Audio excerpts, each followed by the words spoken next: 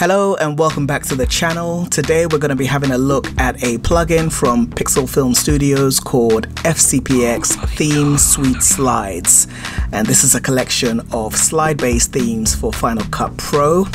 So it says here whether you need a theme template for an action-packed highlight reel, a slideshow for professional photos or something completely unique for your channel, there's a theme for you within the FCPX Theme Suite Slides.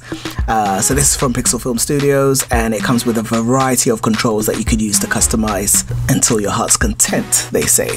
So Today we're going to be having a quick look at this plugin just to see how easy or difficult these themes are to use. Um, you can see here if you go onto their website there are a few examples of uh, the type of slideshows that you can create.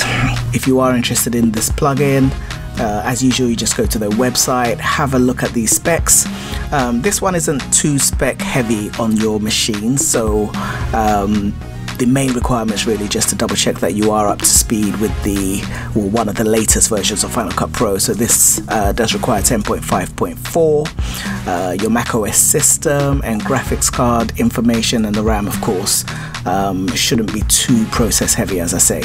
Uh, so it does tell you here it's compatible with Apple Silicon M1 and also Intel processors. So uh, without any further ado, let's jump into Final Cut Pro and let's see how to use these themes. Okay, so here we are in Final Cut Pro. Once you've downloaded the software, you should see this here under your titles tab and you'll see this here under the FCPX theme suite slides section. They're all title templates. So as you can see here, we've got it starting from uh, a section called antique slides uh, down to BitPix, You've got uh, quite a few templates uh, within these sections as you can see. You've got BW Fashion, these are all in alphabetical order as you'd expect. Uh, we've got the corporate slideshow, lots of themes here, expressions, fashion curves. As I say, lots here, photo cut. So we'll be having a look at some of these.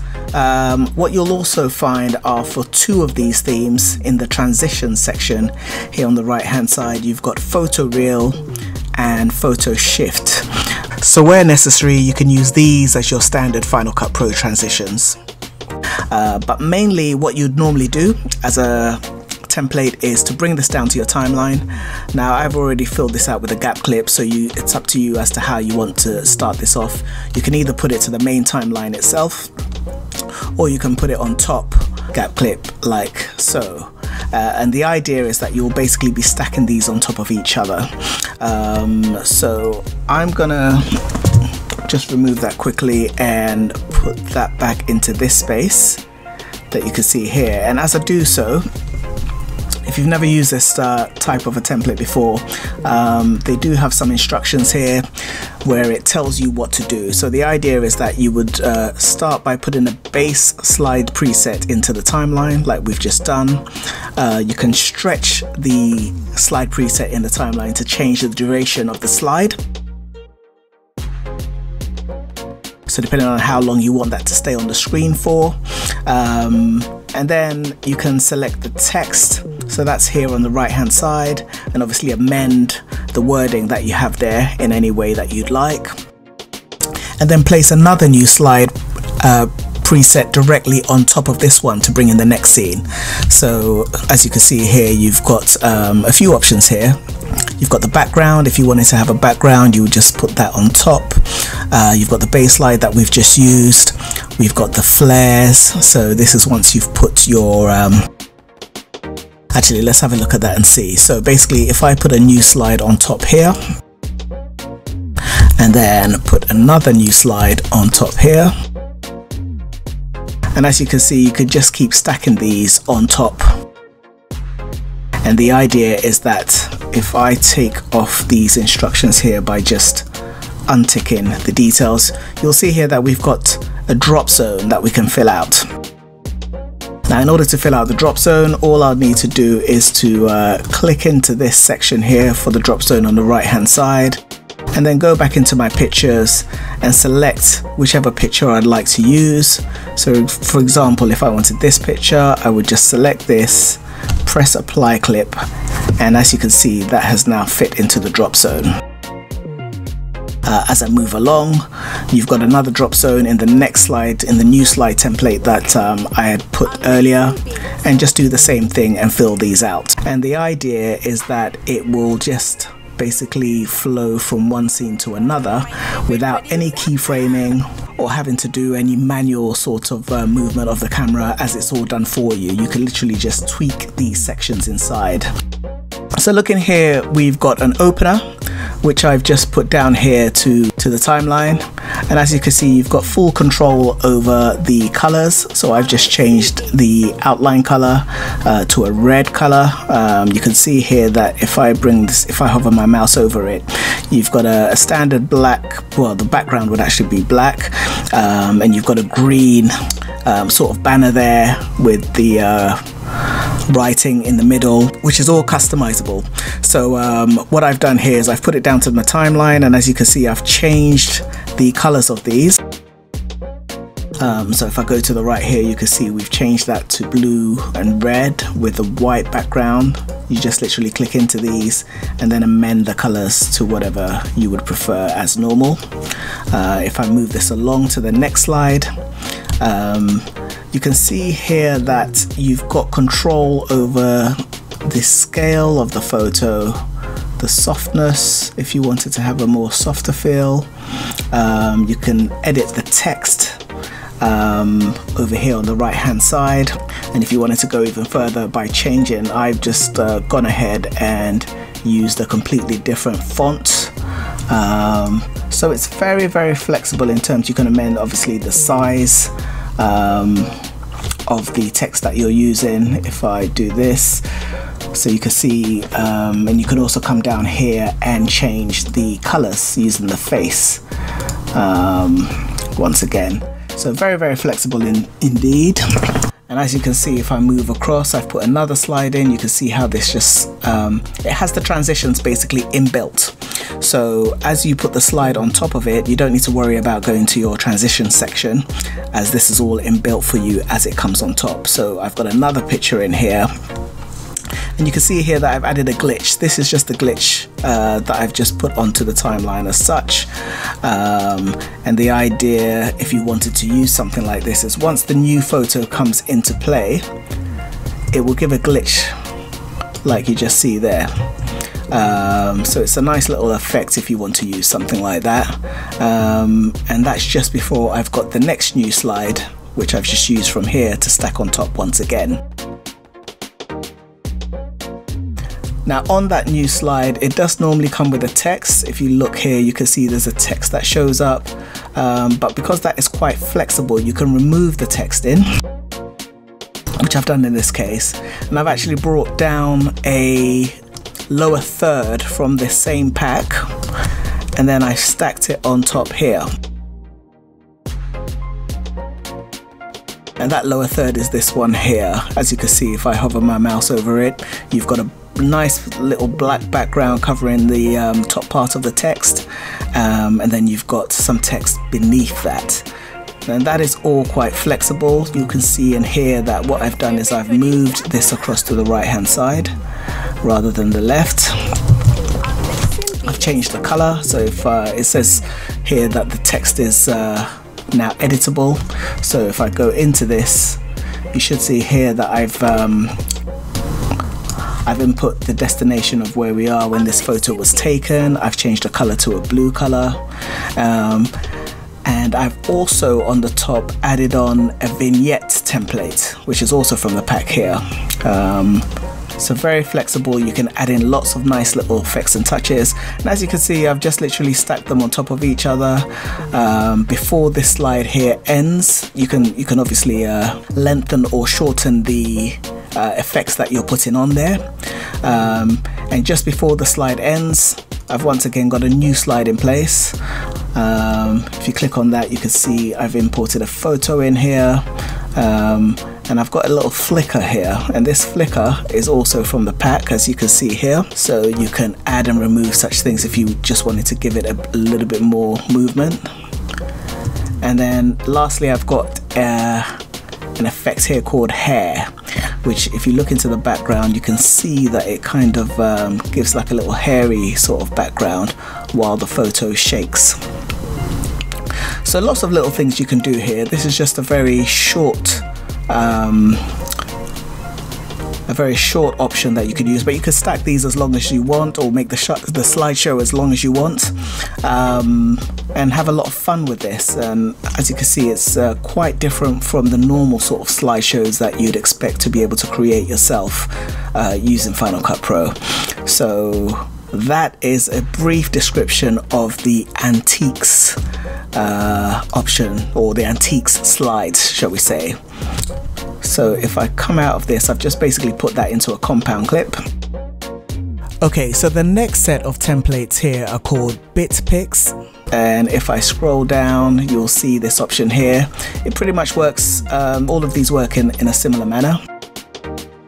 So you've got an opener, um, which if I scroll down, you'll see here. It's uh, got a white background with a nice box with the words in there. What I've done here is I've just dragged that down to the timeline. I've uh, been able to customize the background through the inspector uh, to change that to a light blue. And the slides of this one are quite interesting. So um, you'll see here that some have three or four different drop zone boxes. So you basically have a nice multi-screen effect within this template. So you can see here that the, uh, the next layer comes in.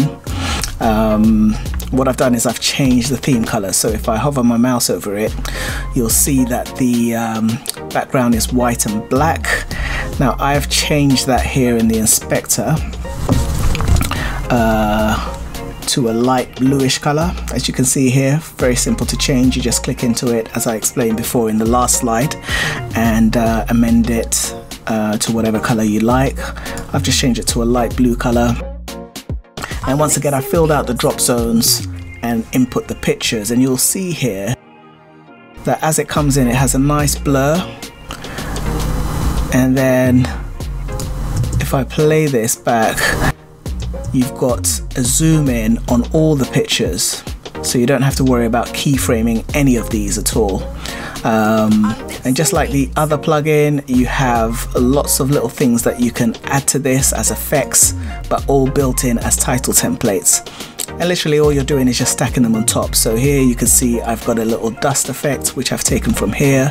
If you look in the background, or if I hover my mouse over it, you can see it's got this nice little dust particles going through the picture may not be something you want to put throughout the slideshow, uh, but it can give it a nice little effect. Uh, you can once again have a lot of flexibility in terms of how long or short you want that to be. Um, and as we move along, I've got the next slide that comes in. Uh, once again, I've been able to change the uh, wording on the lower third. Um, very, very flexible. Just scroll down to the bottom here and input whatever you'd like. Um, I've kept the color theme the same for this part of the slideshow. Um, and we've got the same type of effect going in here. It's all zooming in nicely. I've then got a flare effect dropped on top. And as it moves along um, I don't need to worry about any transitions as it's all inbuilt. Um, and once you're done you can then move on to the next slideshow. If I open that up you'll see all flowing in the same sort of format. So I hope that makes sense. What I'll do now is um, I'll just come out of this and then I will play you a demo of how the whole thing looks like. And um, let me know your thoughts. I mean, we have tons of different templates in here that you can use. You've got fashion curves, um, on tour, which is a really nice one. Um, you literally the the the, the, procedure, the procedure sorry is just the same. You just stack these on top of each other, um, and you've got up to 20 different themes. So this is really great value for money. Um, if you're interested in making some slideshows in Final Cut Pro, which are completely different from the norm. Um, and you know it can actually spice up your slideshows. You could um, do this very, very quickly and have a, a great looking slideshow, which is very different from most other slideshows you see out there. So um, let me know what your thoughts are on this. I'll run the demo video now and then um, if you've got any comments or um, opinions about this, uh, do do pop them down in the comment section below.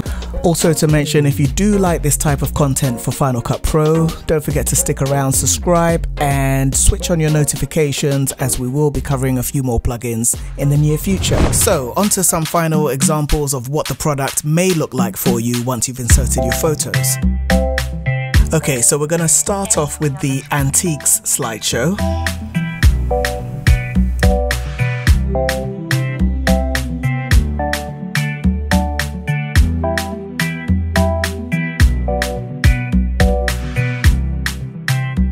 So next up, this is an example of the BitPix slideshow.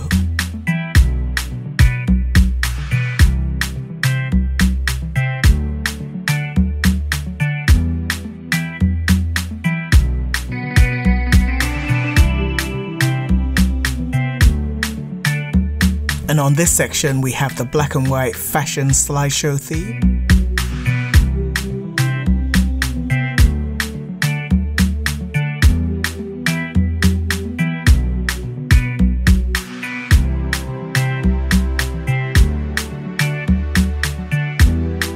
Also on this template, you also have a nice sidebar which slides in and out.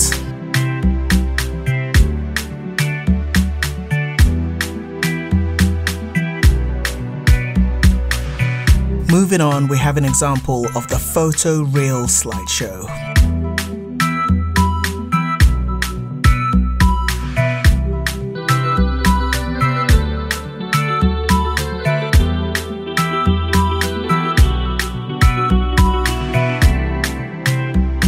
Okay, next up is an example of the Photo Minimal slideshow.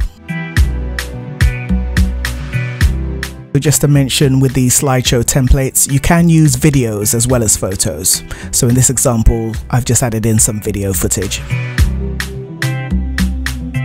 In this section here, we're using the corporate slideshow theme.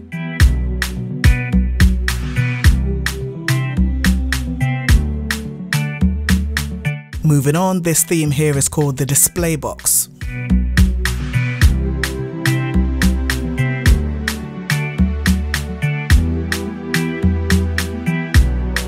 Now this is from a pack called Expressions. Now I particularly like how the text is sticking as a 3D layer to the photos as they zoom out.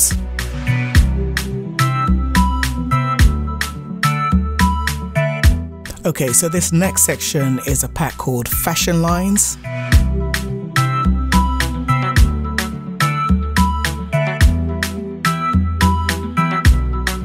Okay, so now on to the next set of templates called Panel Revolution. And then on to some examples of the parallax themes. Okay, so next up is probably my favorite from the pack. This is called Photo Cuts. You can see here how you've got some random fast cuts with zooms on here. Now moving on to an example called Photo Sheets.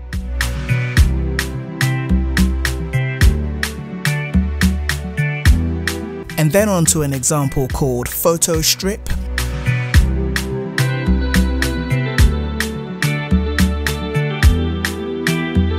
And this theme here is called Travel Postcard.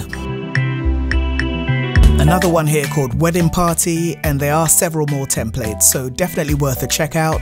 If you like this type of content, please feel free to subscribe to the channel, and don't forget to hit that notification bell because we will be delving into some more Final Cut Pro tutorials very soon. Thanks a lot for checking this out, and hope to catch you next time.